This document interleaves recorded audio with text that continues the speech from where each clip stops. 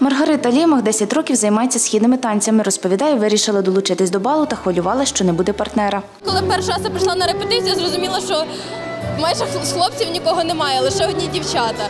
Я дуже сильно хвилювалася, оскільки думала, що мені не знайдуть партнера. І е, буду танцювати сама, але знайшли. Її партнер Ростислав Зюба займається 5 років брейкдансом. Були деякі складнощі, коли вже в туфлях прийшлось танцювати, і ми просто друг другу чуть ноги не повідбивали, але все закінчилось добре. Всього виступили 29 танцювальних пар віком від 6 до 16 років, каже хореограф балу Аліна Квітка. Розповідає, більшість дітей прийшли без партнерів. Більшість приходило по одному, але дехто приходив вже своєю парою з партнером або з партнеркою. Е, Дуже важко було знайти партнерів, не так легко знайти хлопчиків, які би долучилися до цього і хотіли е, танцювати. Вони більш сором'язливі, ніж дівчатка. Але але були е, пари сформовані. Я надіюся, що всі задоволені своїми партнерами. 12-річний Давид Попо 8 років займається спортивно-бальними танцями. Ми вже з жовтня місяця готуємося.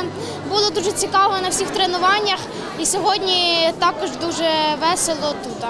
Його партнерка, двоюрідна сестра Дарина Химич, каже, танцювати з братом одночасно легше і важче. Деколи може бути легше, а деколи може підманути, так?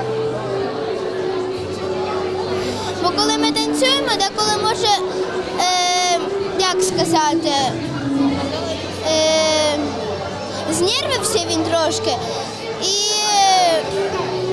кидає мене і уходить. Організаторка дитячого благодійного балу Тетяна Гілевич каже, гроші зібрали з продажу квитків на захід, який коштував 500 гривень. Також збирали у скрині. Далі звідки з'явилася ідея провести бал у Хмельницькому. Культура для мене є дуже близькою темою, тому я про це думала дуже давно, але нещодавно з'їздила в Київ. Мене запросили, мої теж партнери по культурним школам розвитку, які працюють в Києві. І надихнулася. Мені захотілося, щоб наші хмельничани теж відпочивали, могли мати такий світський захід, так робити добро, робити благодійність і збагачуватися духовно і естетично. Начальник управління культури та туризму Хмельницької міської ради Артем Ромасюков розповів, у обласному центрі дорослий бал вже був, а дитячий вперше. Чи треба такі бали? Ну думаю, однозначно треба. По-перше, ми е, маємо змогу допомогти е, обладнанням для дітей, які того потребують. Ну а з іншого боку, е, це прищеплення такої високої культури е, для усіх учасників, е, які сьогодні будуть брати участь у цьому дійстві. Анастасія Збродова, Віктор Кривий. Новини на Суспільному. Хмельницький.